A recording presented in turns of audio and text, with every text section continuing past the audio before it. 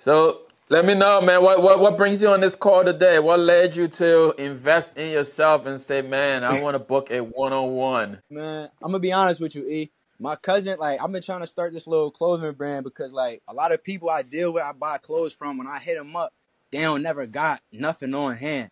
So in my mind, Mm. how you a business, but you don't never got nothing on hand?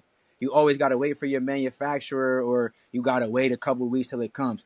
So I start, what I mean, I started doing my little research, and I started putting little pieces of the puzzle together. My cousin had sent me your uh your page, so I'm like, huh, let me see what he's about. I had went and bought the uh the little press machine you had posted on there with your little discount Okay. code, and I got the little Yeah. small hand press too. So then I started doing my own uh little like thing on the little TKO website.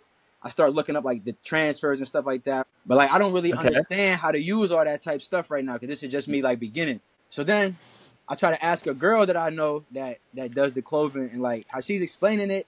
It's like she's just telling me she's not really showing me nothing. So I'm Mm. like, all right, I'm like, hold on, hold on, hold on. Let me just pay somebody that really know what they doing. He's posting about it. Like I see what you really like promoting and stuff. So I'm like, let me go ahead and just pay this little hundred bucks to see if he can help me out. You've already taken big, bold steps, man. You went ahead and purchased the machine. you, I mean, you're already on a good path. So, like, I'm so glad that you're able to to actually invest in yourself to get that information to get the short